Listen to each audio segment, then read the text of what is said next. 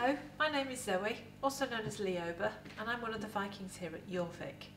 And I have a particular interest in Viking food because we all eat food today. How on earth do we know what these people were eating while they were living in this city?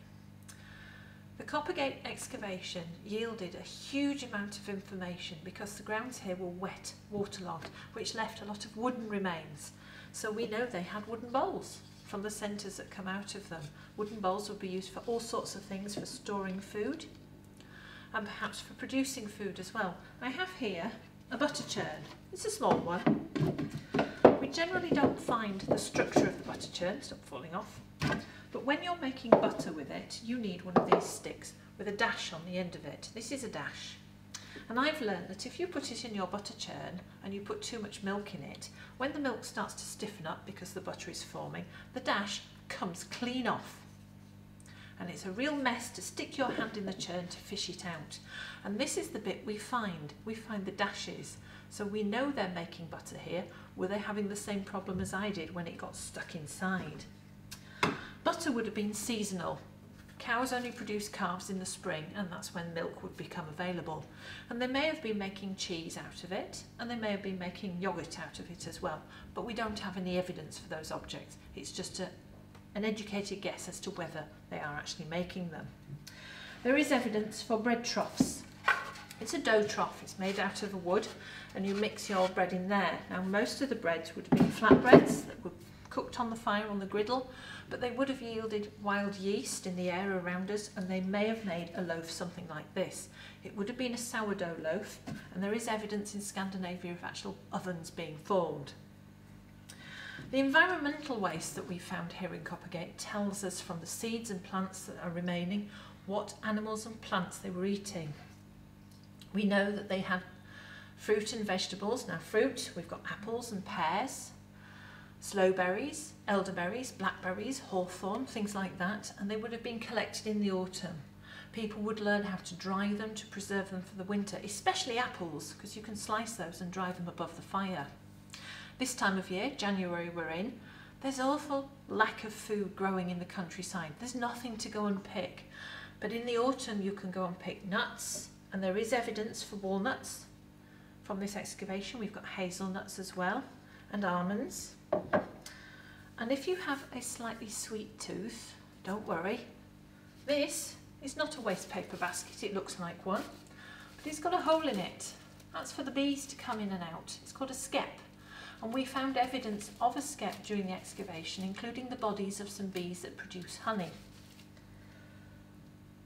Meat is available more in the winter months because you're slaughtering the animals so you don't have to overwinter them. We have sheep, goat, cow. We have wild fowl, such as ducks and geese and chickens, so they have eggs as well. The bigger animals were probably taken out of the city and, and reared in the countryside and driven into the city for slaughter. Fish is another staple that they eat. They, they had a taste for eels here in Coppergate. We found a lot of eel bones. The fish in the first part of the Viking period are freshwater fish from the local rivers, including perch and roach and things like that. But towards the end of the Viking period, where the pollution gets higher and higher in the river system, you get deep sea fish such as haddock and cod coming in. I'm talking of cod, I have a creature here. This is called stockfish. If I bang it on the table, you can hear how hard it is. This animal would have been hung up on a great big rack by the sea to dry. It is rock hard, but if you skin it and flake off the fish flesh from inside and put it in a stew or just chew it in your mouth to make it go wet, it still tastes of fish and is extremely nutritious. And this is the sort of meat that they would be eating in the winter. Peas can be dried as well, so imagine a, a fish supper with peas and a bit of bread and maybe some ale in that Torksey ware pot that we have. We also have a lot of evidence for knives knives made out of metal, some of them with steel edges, used for cutting up your food. There are no forks in this period whatsoever. And we have two types of spoon. A spoon made out of horn, which we think they made. We have evidence for horn working here. And we have a double-ended spoon, which is rather remarkable. It's made out of iron, but it's coated in tin, so it looks like a silver spoon. So you could put out your best silver spoons for your dinner when your mate comes over and they wouldn't know that they're actually iron spoons instead. Rather sneaky, isn't it? Drinks would be beer or ale. If you're wealthier, you might have wine from the Rhineland. You might have mead, which is made with honey.